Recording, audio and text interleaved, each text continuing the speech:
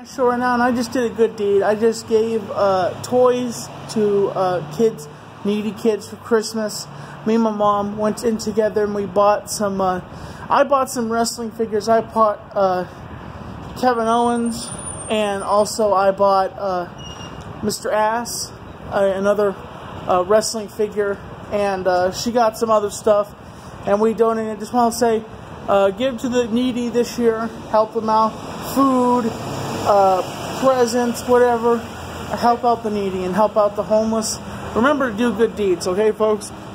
And uh, just remember to help people, okay?